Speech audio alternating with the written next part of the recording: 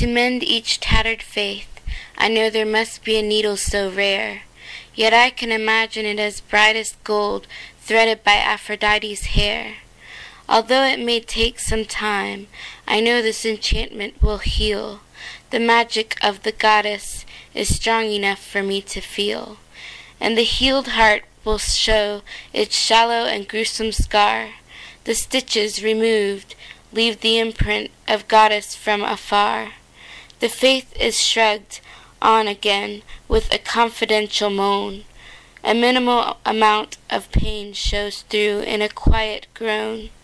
And although it doesn't fit as if it had never tore, it is wearable indeed and able to face what fate has in store.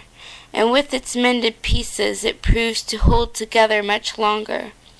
You know what happens to scar tissue, it becomes that much stronger.